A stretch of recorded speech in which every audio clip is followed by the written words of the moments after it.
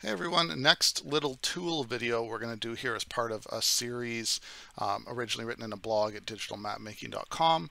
I'm not updating it that much anymore, but we did geojson.io. Now we're going to look at MapShaper. So MapShaper, again, a really, really awesome one.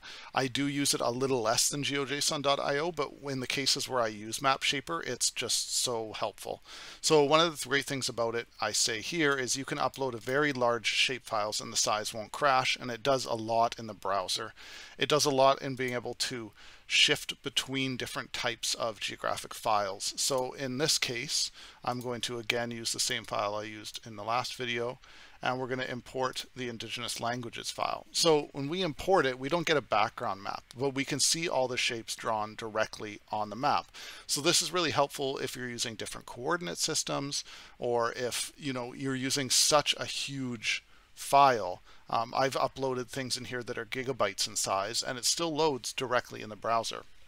Really handy for visualizing the data and getting a handle on it, again, for debugging purposes. Uh, another really, really useful thing here is simplifying data. So sometimes clients will maybe send me like, let's say they send me boundaries of the states of the of the states of the US, and we don't really need them for our application in huge, huge detail. I mean, in this case, we don't having states, but you can see this is fairly simplified. But if I have every tiny little detail, the file is going to be so big and if I want to reduce it from say a 10 gigabyte file and have it just be something that I can upload into Mapbox or, or load onto a client, I can simplify.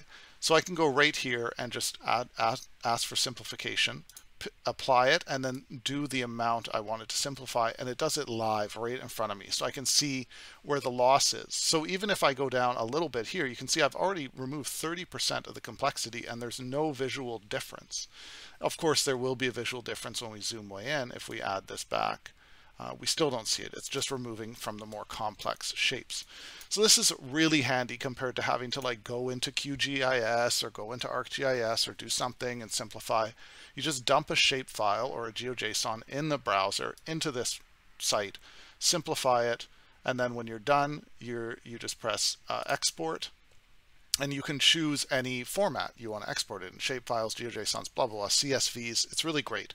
They do have a ton more options. This is actually a library that you can download to your computer. So it's a command line library, which is really great. You can find it just, I think, MapShaper GitHub is going to be where you can easily find it. And then you can perform all those commands also in your console, which is great, again, for, for files that are even like too large for the browser. So you might be working with like 40 gigabyte file and you don't want to do it but you want to have some of this this stuff in your browser. So uh, and of course you can use some map MapShaper commands directly in it. I rarely do that. Generally this site is just great for me one debugging large shapefiles from clients two simplifying them and three converting them converting them between formats GeoJSON to a shapefile or a shapefile GeoJSON. That's how I most often use this site. So really great tool. Make wide use of it, especially when you're dealing with large files.